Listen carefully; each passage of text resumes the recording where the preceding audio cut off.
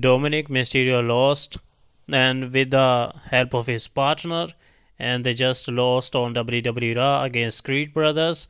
Rhea Ripley has a reaction on it, and she said, um, Dominik Mysterio had match 100 in 2023 on Monday Night Raw, and this was also a massive, massive moment for Dominik Mysterio as he just going to be a big superstar. Rhea Ripley's reaction on Dominik Mysterio's loss on WWE Raw.